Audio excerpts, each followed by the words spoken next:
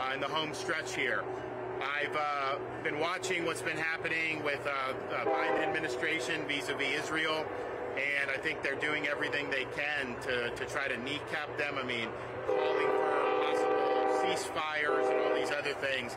Uh, that is not what we need if we want Israel to be able to do the job.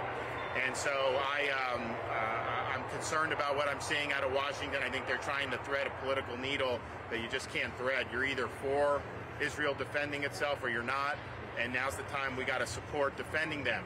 If you're concerned about anything happening in Gaza, the answer to that is to call for Hamas's unconditional surrender and call for the release of all hostages.